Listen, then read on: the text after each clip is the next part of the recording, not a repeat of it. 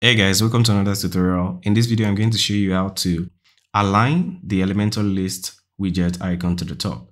This is a very common, this is a very popular issue with um, list widgets because sometimes when you add uh, long content to the list, it's going to align the icon to the middle, which we, in most cases, we don't want that. So in this video, I'm going to show you how to fix that issue. And to fix this issue, we're going to be installing a WordPress plugin called OoohBoi Steroids for Elementor. So I'm just going to, I'm going to drop a link to the WordPress plugin. So I'm just going to copy the name. I already have the name here. Can you see it? Copy it. Go back to my dashboard. Go to plugin, plugins, sorry.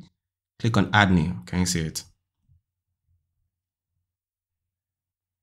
So I'm going to enter, just paste it here and search for the plugin. All right, you can see the plugin OoohBoi Steroids for Elementor. Can you see it? So click on install now. Click on activate. So activate the plugin. So once I'm done, I'm just going to go back to this page.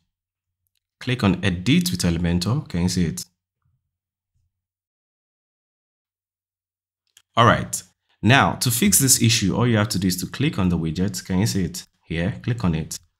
Then come to styles here. Click on icon. Can you see it? Icon. So below, after the alignment, below the alignment settings, you see bullet. Can you see it? Bullet with the plugin icon, the OoohBoi Steroids plugin icon.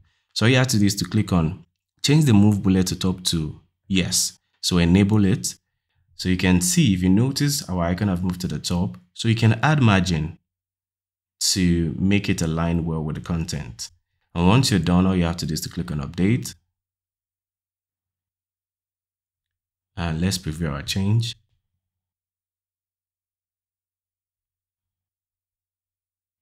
As you can see, we fixed the issue. So that's basically how to move the Elementor list widget icon to the top. If this video was helpful, kindly like this video and also for more videos like this, click on subscribe. Thanks for watching.